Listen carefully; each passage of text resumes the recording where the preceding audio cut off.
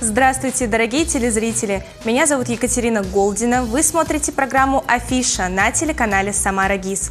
Удержать лето невозможно, но наполнить последние выходные августа яркими впечатлениями и теплыми воспоминаниями под силу каждому.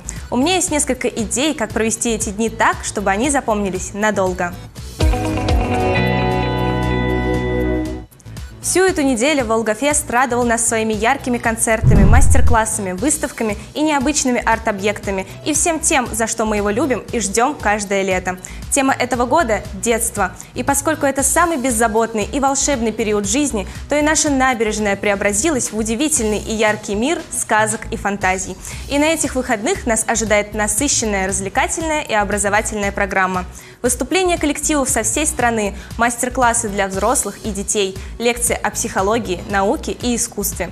Приходите окунуться в безмятежную атмосферу детства, вновь почувствовать себя ребенком, попробовать что-то новое, удивиться и получить новые впечатления. Торопитесь, завершится фестиваль уже в это воскресенье, 28 августа. Для тех, кому хочется совершить более глобальное путешествие во времени, в субботу, 27 августа, стоит посетить Струковский сад. Здесь пройдет международный фестиваль «Самарское знамя». На празднике будут работать исторические интерактивные площадки, воссоздающие быт, культуру и военные традиции конца XIX века, а также состоится научно-практическая конференция. Фестиваль посвящен одному из важнейших этапов в истории страны – периоду, когда Российская империя помогла балканским народам освободиться от 500-летнего османского ига. Тогда самарцы пошли добровольцами сражаться за братьев славян и изготовили легендарное знамя, которое стало символом подвига, чести и доблести. Этот год для Самарского знамени юбилейный, ему исполняется 145 лет, и фестиваль пройдет с размахом. Вход свободный. 27 августа – знаменательный день для всех любителей кино.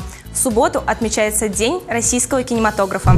И в этот день Центральная городская библиотека имени Крупской проведет Ночь кино-2022.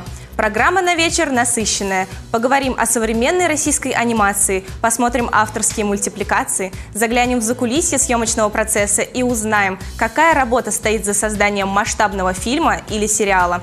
Помимо этого, нас ждет экскурсия по библиотеке, мастер-классы, спектакль от Самарского театра кукол «Лукоморье» и турнир по настольным играм. Начало мероприятия в 17.00, Маяковского, 19.